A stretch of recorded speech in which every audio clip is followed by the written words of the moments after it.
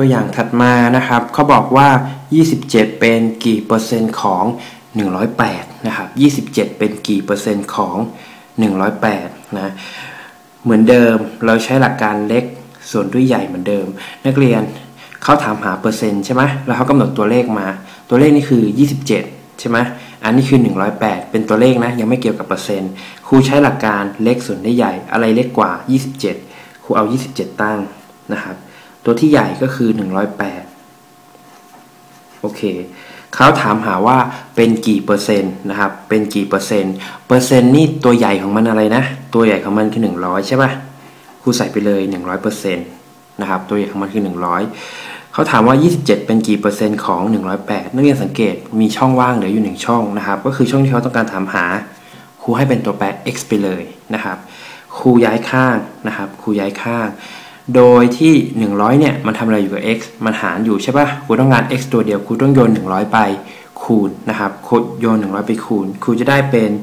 27 คูณกับเท่าไหร่ คูณกับ 100%นะครับ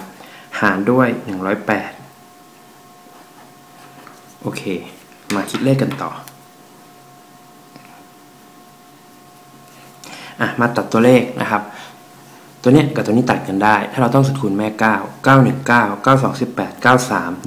27 ข้างบนได้ 3 นะ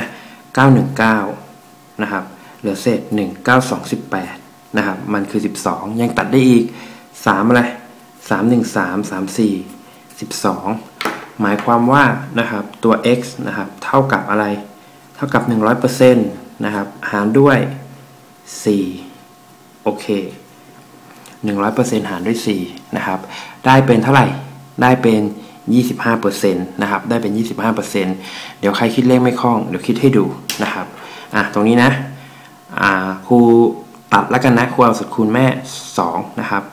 2 1อ่า2 2 4 2อะไร2 50ใส่ 0 ไป 1 ตัวนะครับ ตัวนี้ตัดได้ต่อเอาแม่ 2 2 1 2 2 อะไร 2 2 4เหลือเศษ1 2 5 10 ห็นไหมนักเรียนเหลือ 25 แล้วมีเปอร์เซ็นต์อยู่ด้วย ฉะนั้นข้อ x ตอบข้อ x ข้อนี้ x ตอบเท่าไหร่